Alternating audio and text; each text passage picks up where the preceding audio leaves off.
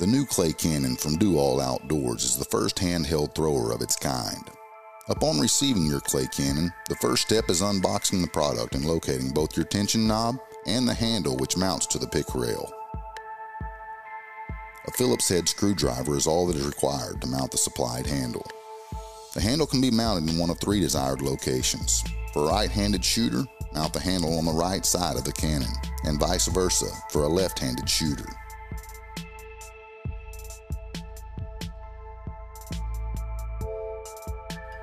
Following securing your handle, then mount the supplied washer and tension knob.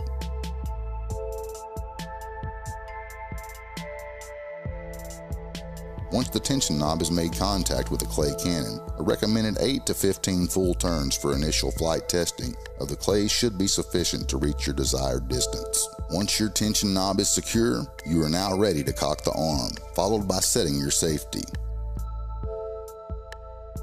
While holding your clay cannon by the installed handle, place the clay near but not past the rest of the arm, which is approximately 4 inches from the end of the arm.